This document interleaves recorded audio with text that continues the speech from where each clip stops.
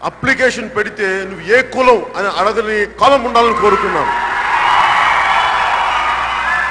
అసలు రిజర్వేషన్లు ఎవ్వరు అడగలేని స్థాయిలో మన సమాజం ఉండాలని కలలు కన్నాను. ఆ కళలు నెరవేరితే నాకు తెలియదు కానీ కళల కంఠం అయితే నేను ఆపను. మార్పు కోసం కళల కంఠం అయితే ఆపను. అలాగే మీరు కూడా సమయం పడుతుంది కానీ ఇందాక మీరు కాలేజ్ విద్యార్థి ఎన్నికల గురించి మాట్లాడుతూ ఉంటే మా నాగబాబు నెల్లూరు సర్వోదయ కాలేజ్కి సెక్రటరీగా పనిచేశాడు విద్యార్థి ఎన్నికల్లో విఆర్ లా కాలేజీలో సెక్రటరీగా పనిచేశాడు. గెలుపొందాడు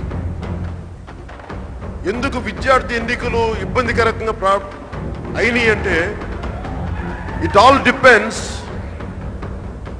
on the state leadership విద్యార్థి ఎన్నికలు ఎలా అయిపోయినాయి అంటే నా చిన్నప్పుడు మా స్కూల్లో కూడా ఎలా school people SPL school peoples లీడర్కి election జరిగాయి.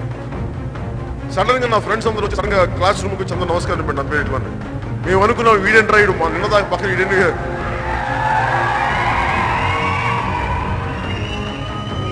అంటే ఎంత వెంటకరం ఉండేదంటే మాకు వీడెంట్ రాయుడు ఎమ్మెల్యే లాగా ఆనవాళ్ళగా మాట్లాడేటాడు అనుకున్నాం అంటే రాజకీయ నాయకులు అంటే జనరల్గా విద్యార్థిని విద్యార్థులకి వెటగారు ఉండదు. ఎందుకంటే మీరు చాలా ప్యూర్ ఫామ్లో ఉంటారు. సమాజం ఇలా ఎందుకు ఉండాలి ఇలా ఉండాలి కదా అని చాలా ప్యూరెస్ట్ ఫామ్లో ఉంటారు. నేను ఆ ప్యూరిటీని విద్యార్థి దశలో ఏ ప్యూరిటీ అయితే పెట్టుకున్నానో అది కాపాడుకోవడానికి నాకు ప్రాణం ప్రాణాంతకం ఉండేది.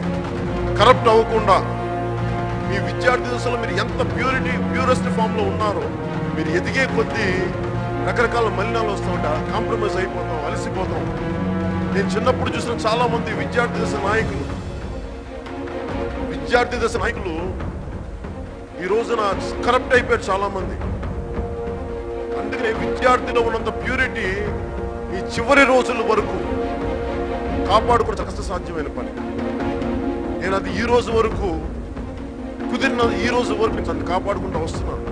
కాపాడుకుంటానని నేను అనుకుంటున్నాను. ఈరోజు నెక్స్ట్ వచ్చే తర తిరిగి కూడా. నేను ఏమనుకుంటున్నానంటే మీ దగ్గర నుంచి మీరు కోరుకుంటున్న మార్పు సాధ్యపడుతుంది. ఖచ్చితంగా సాధ్యపడుతుంది. ఎట్లా సాధ్యపడుతుందంటే మీరు కాంప్రమైజ్ అవ్వకండి